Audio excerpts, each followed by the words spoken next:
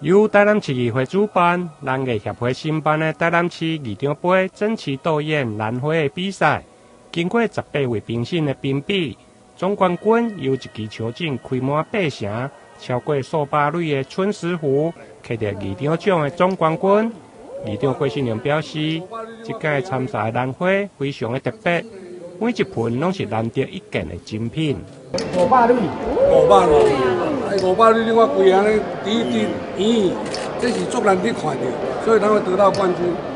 应该说没有看过呢，这么的啊花开得这么的密集，这么的远，真的是很好看的。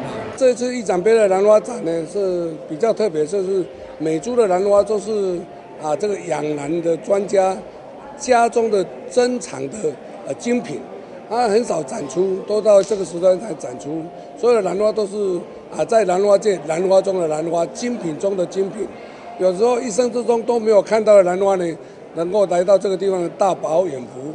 我保证，所有的全国的民众几乎很少很少看到这种兰花。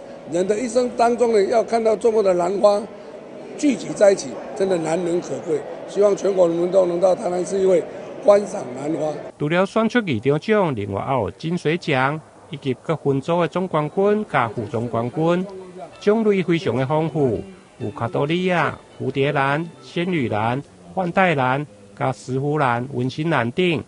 欢迎民众把握清明的连续假期，前往台南市议会一楼大厅来看兰花。台南新闻林根采访报道。